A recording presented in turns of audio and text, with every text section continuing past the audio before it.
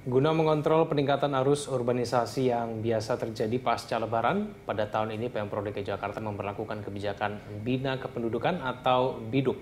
Nantinya setiap warga pendatang akan didata terlebih dahulu. Gubernur DKI Jakarta, Jarod Saiful Hidayat ingin memastikan warga pendatang yang datang ke ibu kota memiliki tujuan jelas dan memiliki tempat tinggal. Untuk itu Pemprov DKI telah menyiagakan sejumlah petugas pendata di perumahan hingga di apartemen. Diharapkan warga pendatang juga memiliki kesadaran untuk melapor ke kelurahan setempat guna mempermudah proses pendataan. Jarod mengatakan bila nantinya ditemukan warga pendatang yang tidak memiliki tujuan jelas dan tempat tinggal, maka warga tersebut akan dibina di panti sosial.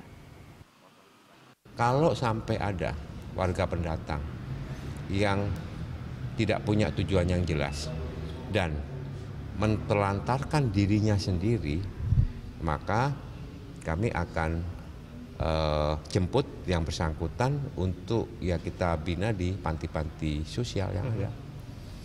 Dan kami sudah bekerja sama dengan uh, beberapa provinsi besar yang tergabung dalam MPU namanya ya, Mitra Praja Utama untuk bekerja sama menghadapi persoalan-persoalan uh, kependudukan seperti